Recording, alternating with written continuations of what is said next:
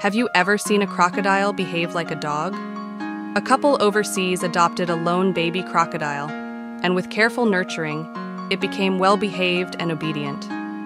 Initially a bit aggressive, the couple took great care of it, and gradually it became gentle.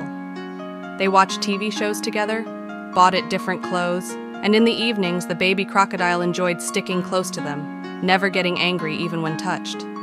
They took it for outdoor swims and walks whenever they had time, and the little one enjoyed the outdoor time immensely. It was very affectionate, not minding even if its belly was touched.